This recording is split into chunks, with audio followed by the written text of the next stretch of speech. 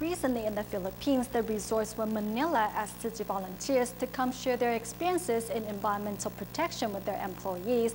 Meanwhile, a recycling volunteer in Malaysia has been using his own house as a temporary recycling point for the past three years. Here's more.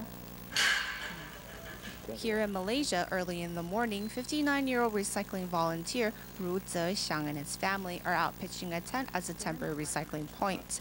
Ru has done this every month for the past three years. Ten years ago, I suffered a stroke. Now I practice recycling as a form of exercise. I'm in good spirits and my body is healthier.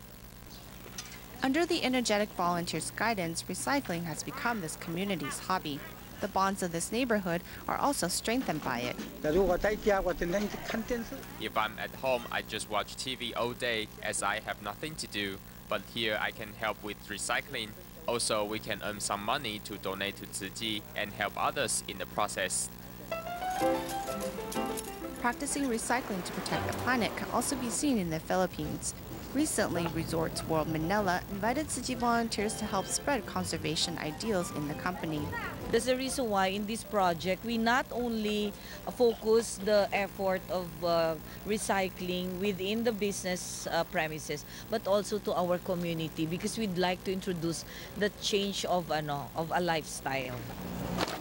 Besides setting up a recycling point to collect bottles and cans, volunteers also set up a display of products made from recycled materials.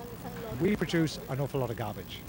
And it's only fair that we've now, now taken steps to break down our garbage and say what's recyclable, what's not recyclable, and then offer it to those people who can actually use these to benefit the community.